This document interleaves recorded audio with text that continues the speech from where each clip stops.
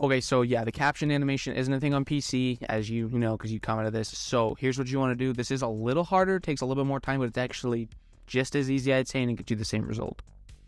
First, go to caption, and then what you're gonna have to do is just click and enter to make the word drop down, and just do that for every word.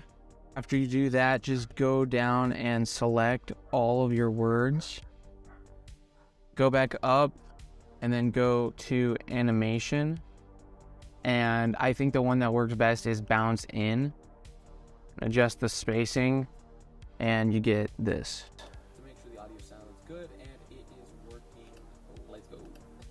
Just to make sure the audio sounds good and it is working. Let's go. I don't know if there's an easier way to do this. This is the only way I found out how to do this. But I mean, it does work. It takes a little bit more time, but because you can just copy everything, I think it works out well.